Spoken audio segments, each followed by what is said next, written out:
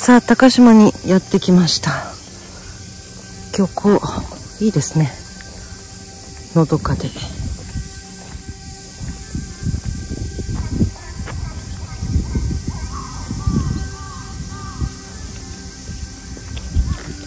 ここね高島が、えー、元寇最後の激戦地ですね。元寇の際に元軍の侵攻を受けた島で島内には元寇ゆかりの遺跡があります。高島沖には水中考古学の宝庫として現在も注目を集めています。これさよく見たらほらめっちゃ綺麗。あもう魚がさキラキラしとうのが見えるよ。あそこになんかフグのモニュメントがあるけん多分フグが取れるとよ。そしてさ、ここの中で、魚がおるじゃん、でっかいの。見えるかな？めちゃくちゃでかいよ。これ。これ多分さ、マグロ？カツオ？ブリ？ハマチ？どれかやない？なんやろう？めちゃくちゃでかい。これ養殖？これ養殖じゃないじゃあ何？あここああカツオやない？今顔見た？カツオみたいな顔しとったよ。うん。そう自分が魚食べんけんね。ようわからんじゃけど。島内は昭和バスが走ってますね。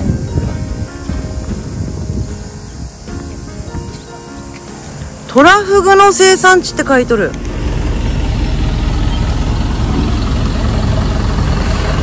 昭和バス。あここ長崎県やけどさ佐賀やん。佐賀から来とったいね。そういった。橋渡ってね。なんとる。なんこれ。早すぎてわからんね。岸と書いてないと。何屋さんこれ。お土産屋かもうやっとらんね。ねあそこなんか食堂があったった。わあ。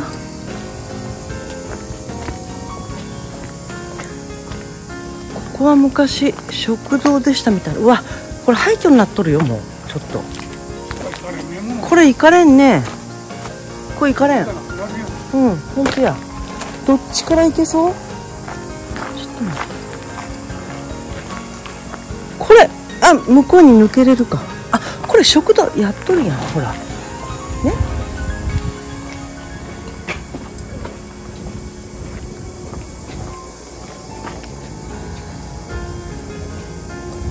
こんな道で続いとるよほら。なんかね。これ用水路みたいな。海やね。うん。細っ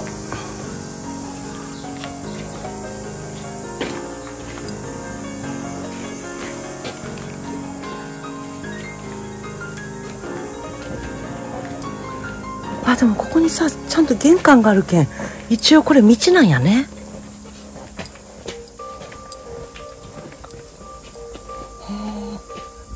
あ廃墟もあるね。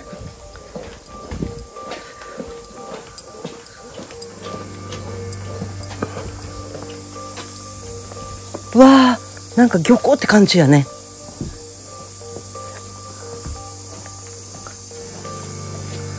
これ昔の井戸かな？知らん。知らんって見てわかるやん。井戸やん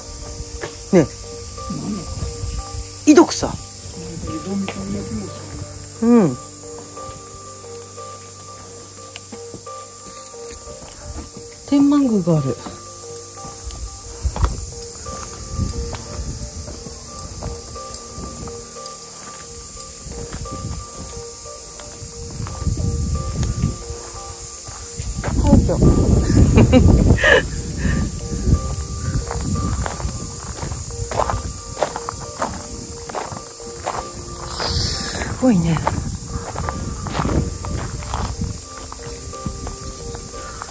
あでも島の中とかやったらあるよね。最強ぐらい。よいしょ。たださなんかスーパーとかなかったね。ここ。買い物とか不便やろうね。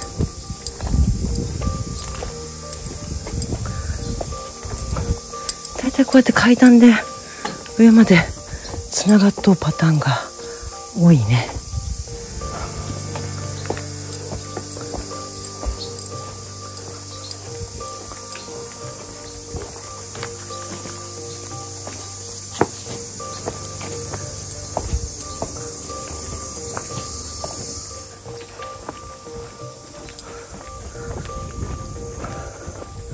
あんまり人に会わんね。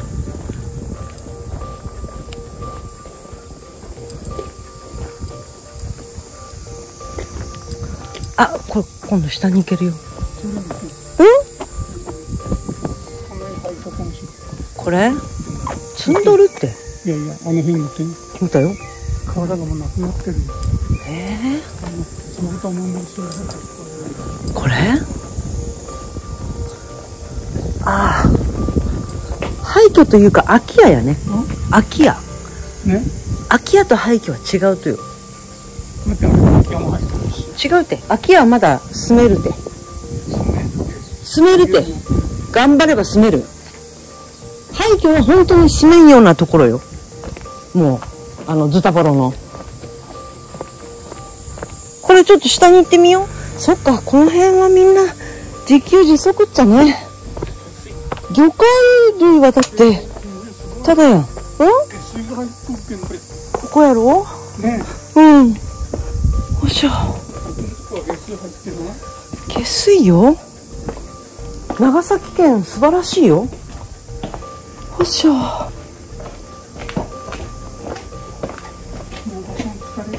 もうちょっと歩いて。あねえねえ。あ、こういう作りもね。これ。うん。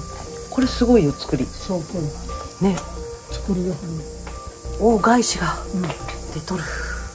あれがあるのが珍しい。あれやろ？外資。うん外資ね。うわあれ？あなんかすごい。あれはさ多分さ海から上げてきといあ、ほっとって。うんそうよ。ね。へえ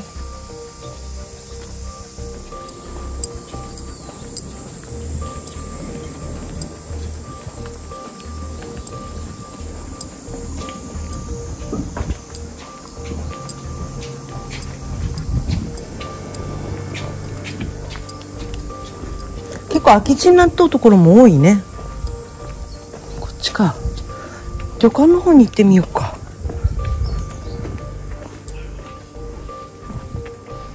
あなんかレトロな美容室。ほら。レトロよこれ。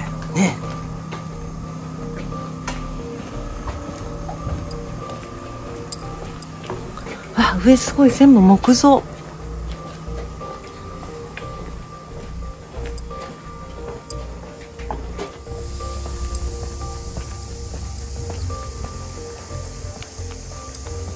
あこんなもん元多分商店か。読売新聞って。昔のやね。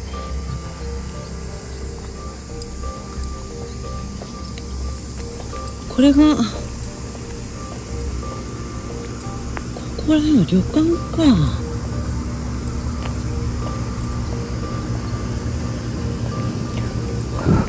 創業明治元年って書いてある。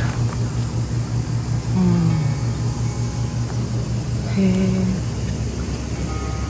あこの橋とか。そう。今日はやってないんだ。いやこの辺作り的にどうかなとか。思ったけど。こっちの旅館はもうなんか普通っぽいし。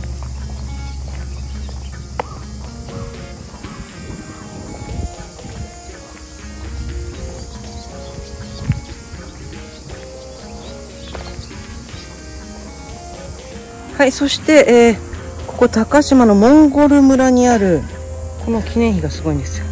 福岡ソフトバンクホークス祝2010年パシフィックリーグ優勝記念モニュメント。まあ高つながりってことでなんかあのこれなんだっけ？えー総合交流宣言なるものがされてですね、まあ、いろんなイベントとかをやってきたわけですね。このモニュメントこっち側が2011年か。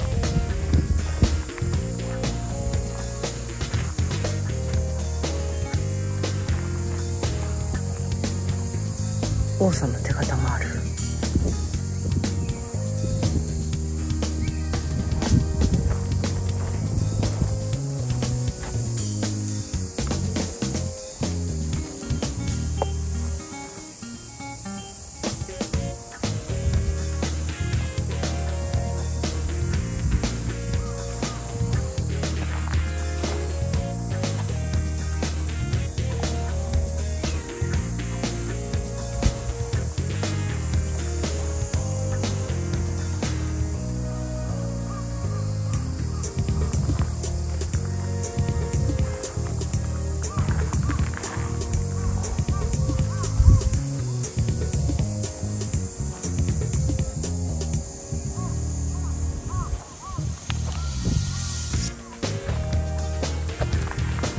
は2010年。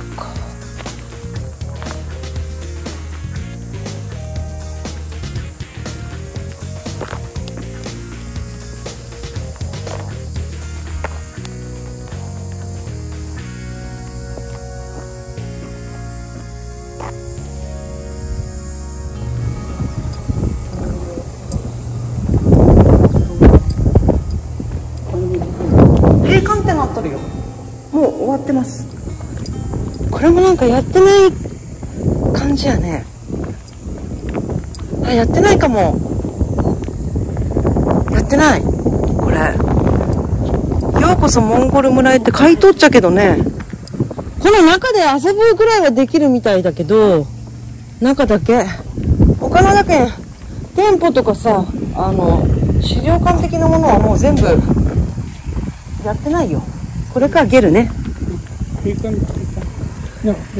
あこれは今やってないの温泉もやってなさそうやんちょっと待ってゲル見るだけほらでもでもさいやなんかこういう料理屋で食べたことあるけどまあたまにはいいよ。テントで作ったの。そうよ。すごいね。違うこんな作りじゃないもん。でもさモンゴルの人たちってこれで暮らしとっちゃろ？そうよ。いやそんからこれじゃないって。このシートあじゃすごい。川やん、うんあ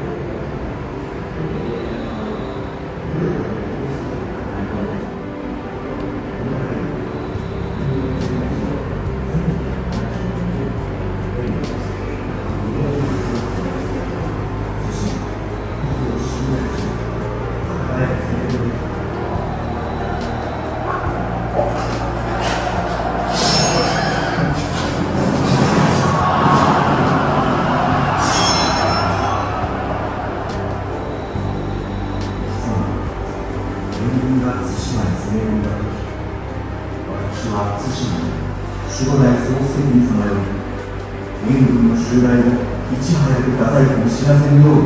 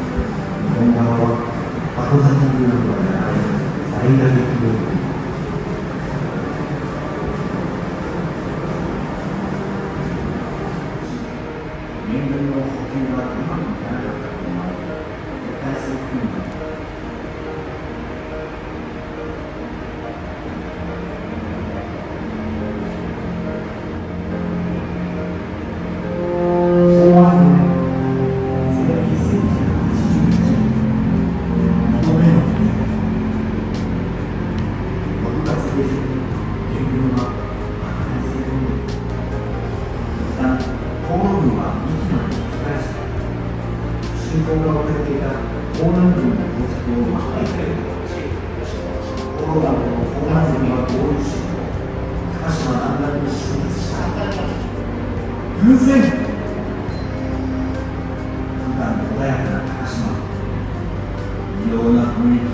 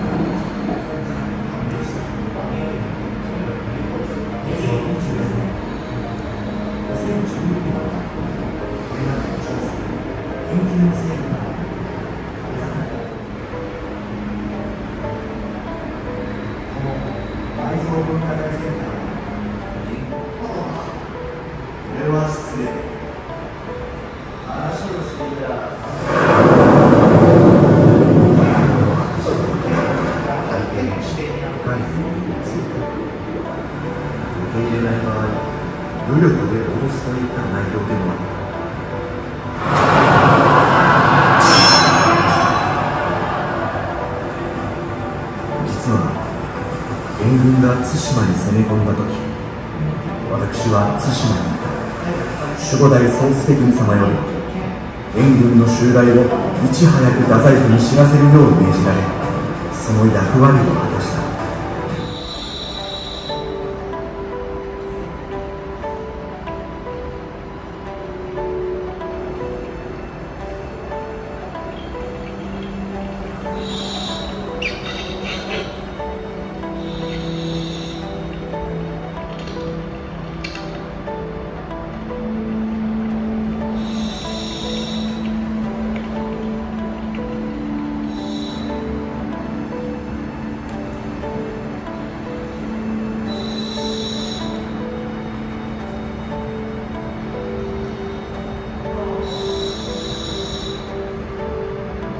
は昭和55年から海底調査が行われておりまして平成23年と27年に元の沈没船が発見されております。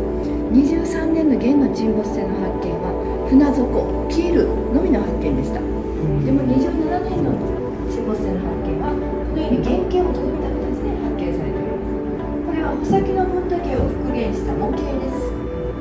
でも23年に発見された分27年に発見されたまだ今海の中で保存をしております。海の中で保存ってなんか大変そうですそうですね。ねあの埋め戻しという状態です。あ。一旦発見されたんですけど、はい。またさらに土をかぶせてで特殊なシートをかぶせて海の中で保存をしております。だからですね今でも年に3回、うん。4ヶ月に1回は海に潜って状態確認を行っております、うん。1号線と2号線。そしてこれが線と言います大体線というのは船のバランスを取るための石だというふうに言われております。でもですね木線できます。1ヶ月半ぐらいかかるんですここまで来るまで食べないといけないのでこの船の中でですよこの線をかまどに組んで煮炊きをしてたんじゃないかというふうに言われております。うん。焦げた線がたくさん見つかったそうです。ですね。1号線の近辺から見つかりました。すずり同じく線。そして陶器の破片です。元軍はですね2回目攻めてきた時生活用具をたくさん船に積んで持ってきてました港湾の駅ですね。これはどうしてかと言いますと文永の駅の時対馬壱岐を攻め高島を攻めてきました。時高島ですね島民が2人しか残ります。だから2回目攻めてきた時には高島に住み着こうと思ってですねたくさん生活用具を持ってきたんだけど結局は高島に上がれぬまま伊万里湾に沈んでしまったということです。でこれがですね今ふ船を海の中で保存しているとお伝えしたんですけどその様子がパネルで示されております。1号線につきましては海底20メートルから25メートル。うん。で2号線につきましては海底15メートル。それぞれが土を1メートル掘ったところで発見されております。海底での調査というのはご存知の通りあの浸水が深ければ深いほど潜ってる時間が短いということですね、で20メートルから25メートルというと大体40分ぐらいが限度だそうです。だから短い期間の中で時間の中でですね作業するのが困難なそれ何回かに分けてだからあの上がって。午前と午そうです午前と午後と分かれてるみたいですうね、ん CG によって復元しました。元の船です。これの大きさは34メートルのをこのように CG でちっちゃくしたもの。こういう船がですね大きさいろいろあるんですけどこれが4400隻14万人の兵士が伊万里湾に集結したということです。こちらがこちらがですね海底から上がった異物を保存処理をしております。あすごい。だからちょっと匂いがね、はい。すごい。うん。これはですね北海道の沖から上がりました木製のストックの西洋型の鉄の怒りです。これはあの言うことは関係なくお借りしております。木製の怒りです。きこれ本物は向こうにあります。これこれレプリカですね。でも大きさはこの大きさだったということを覚えてください本物は向こうにありますので後からご案内します。これがですね石段とかで鉄ハウを飛ばした投石機です。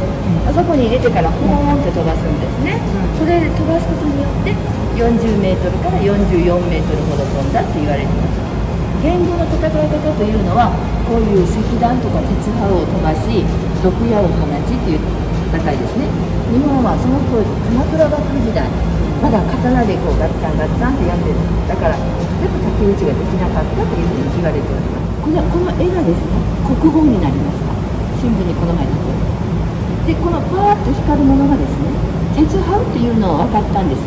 ここに鉄ハウって書いてあるんです、でも中身がどういうものか分からなかったんです。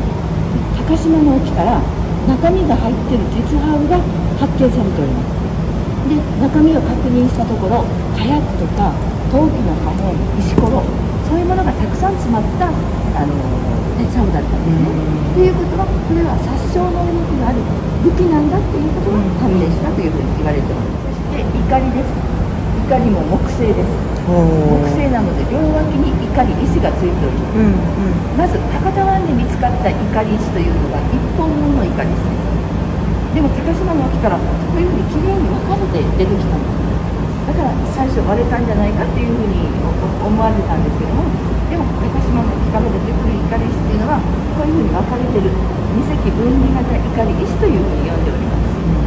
この怒り石は740年前の訪問のイカリ石ですでこういうのがたくさん神戸の海底に沈んでおりますということは元の船がここに停泊してたっていう証拠にもなるということでこれが鉄ハウが炸裂した後です炸裂する前には白っぽかったんですけどやっぱ黒く爆発するので黒く飛びするはいはいでこれが政治湾ですこういうお茶碗もたくさん持ってきてました